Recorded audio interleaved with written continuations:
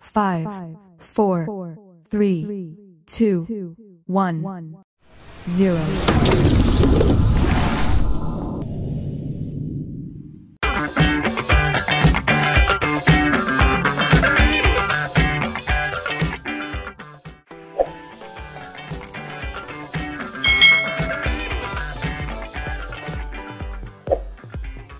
Hai hai hai Selamat datang di channel youtube Kak Citra Apa kabar adik-adik semuanya? Kak Citra berharap kalian dalam keadaan yang baik dan sehat ya Hari ini kita akan belajar bersama-sama untuk mata pelajaran tematik kelas 1 Kita belajar di tema 3 Kegiatanku subtema 1 Kegiatan pagi hari pembelajaran yang ketiga. Mari kita belajar dengan penuh semangat. Adik-adik, pagi hari yang ceria. Matahari terbit di pagi hari. Sinarnya hangat sampai ke bumi. Pohon dan bunga aneka warna, ayam dan burung bersukaria. Udara pun terasa sejuk. Mari sambut pagi ceria. Adik-adik, saat pagi hari, matahari itu terbit dari sebelah timur. Sinarnya itu sangat hangat sampai ke bumi. Pohon, bunga, semuanya berwarna-warni. Ayam dan burung pun bersukaria. Nah, pagi hari ayam akan berkokok burung akan bersiul atau bernyanyi ya adik-adik ya dengan suaranya. Udara pun di pagi hari akan terasa sejuk. Itu semua adalah karunia Tuhan yang kuasa. Mari adik-adik kita syukuri anugerah Tuhan di pagi hari. Pada hari Minggu pagi, Edo main ke rumah Benny. Benny mengajak Edo mencari kata-kata yang tersembunyi di kotak huruf. Bantulah mereka mencari lima kata tersembunyi, lalu tariklah garis mendatar atau menurun pada kata tersebut. Nah, di sini sudah ditemukan satu kata adik-adik, yaitu kata pagi. Adik-adik menemukan kata apa lagi nih? Ayo coba cari. Ya, ada kata matahari. Lalu ada kata apa lagi adik-adik? Kak Citra menemukan kata terbit. Ya, bagus. Lalu kata berikutnya? Ya, ada kata sejuk. Lalu kata yang terakhirnya adik-adik. Karena kita sudah menemukan empat, kurang satu nih adik-adik. Ada kata apa ya di situ? Ya, ada kata ayam. Nah, itu tadi lima kata yang tersembunyi. Pagi hari, Lani berolahraga. Lani jalan pagi di sekitar rumahnya. Sambil jalan pagi, Lani melihat sekeliling. Lani menghitung benda-benda yang dilihatnya. Coba kita bantu Lani menghitung banyak benda-benda tersebut. Nah, benda pertama yang dilihat Lani adalah ayam adik-adik. Nah, kita mau cari tahu adik-adik, ada berapa ya jumlah ayam tersebut? Coba adik-adik hitung.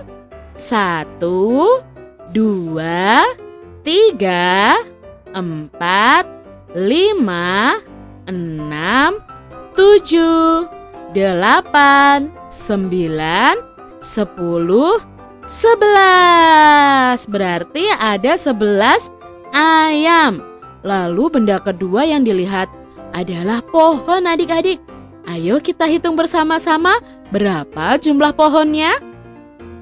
Satu, dua, tiga, empat, lima, enam, tujuh, delapan, sembilan, sepuluh, sebelas, dua belas. Berarti jumlah pohonnya ada dua belas adik-adik.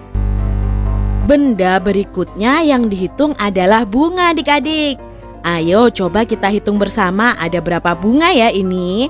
Satu, dua, tiga, empat, lima, enam, tujuh, delapan, sembilan, sepuluh, sebelas, dua belas. Berarti ada dua belas bunga. Lalu ada kupu-kupu adik-adik. Ayo kita hitung ada berapa kupu-kupu? Satu, dua, tiga, empat, lima, enam, tujuh, delapan, sembilan, sepuluh, sebelas, dua belas, tiga belas, empat belas. Jadi jumlah kupu-kupunya ada empat belas. Lalu perhatikan gambar ini adik-adik, ada gambar burung. Mari kita hitung ada berapa ya jumlah burungnya. Satu, dua, tiga, empat, lima, enam, tujuh, delapan, sembilan, sepuluh, sebelas, dua belas, tiga belas, empat belas, 15 Berarti jumlah burungnya ada 15 Lalu ada kumbang adik-adik. Berapa ya jumlah kumbangnya? Mari kita hitung bersama. Ada 1 2 3 4 5 6 7 8 9 10 11 12, 13, 14, 15, 16. Berarti jumlah kumbangnya ada 16. Gambar berikutnya ada buah apel. Nah, kita mau hitung bersama-sama jumlah buah apelnya adik-adik. Kita hitung ya. Satu, dua, tiga, empat, lima, enam, tujuh delapan, sembilan, sepuluh, sebelas, dua belas, tiga belas, empat belas, lima belas, enam belas, tujuh belas. Berarti ada tujuh belas buah apel. Berikutnya adik-adik, coba kita cari tahu berapa ya jumlah burung ya ini ya. Berapa ya jumlah burungnya? Yuk kita cari tahu adik-adik, kita hitung ya. Satu, dua, tiga, empat, lima, enam, tujuh, delapan, sembilan, sepuluh, sebelas, dua belas, tiga belas, empat belas, lima belas, enam belas, tujuh belas, delapan belas. Berarti jumlahnya ada delapan belas. Mudah ya adik-adik menghitungnya? Urutan bilangan 11 sampai 20 dari yang terkecil. Nah, adik-adik, kita akan belajar menyebutkan bilangan dari 11 sampai 20. Nah, di sini sudah ada adik-adik. Yuk kita baca bersama. Ini adalah bilangan 11. Berikutnya 12 13 14 15, 16, 17, 18, 19, 20. Ini tadi urutan bilangan 11 sampai 20 dari yang terkecil. Nah, sekarang kita akan belajar membilang dari angka 20 ke angka 11. Nah, berarti kebalikannya. Kita akan belajar membilang dari angka 20 mundur ke angka 11 adik-adik. Jadi dari yang bilangan terbesar menuju bilangan yang terkecil. Nah, 20 sebelumnya adalah angka ya sebelum angka 20 adalah 19 18 17 16 15 empat belas, tiga belas, 12 lalu yang terakhir adalah 11 Mudah ya adik-adik? Senin pagi anak-anak mengikuti upacara.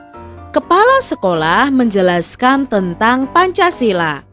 Sila-sila Pancasila itu memiliki simbol adik-adik Berikut ini adalah simbol sila-sila Pancasila pada pembelajaran sebelumnya kita sudah belajar nih tentang sila-sila Pancasila. Nah, Pancasila sendiri ada lima sila. Sila yang pertama, simbolnya adalah bintang. Bunyinya ketuhanan yang Maha Esa. Lalu sila kedua itu simbolnya adalah rantai adik-adik. Bunyinya kemanusiaan yang adil dan beradab. Sila ketiga itu simbolnya pohon beringin. Bunyi silanya Persatuan Indonesia.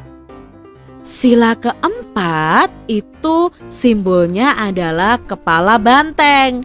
Bunyinya kerakyatan yang dipimpin oleh hikmat kebijaksanaan dalam permusyawaratan perwakilan.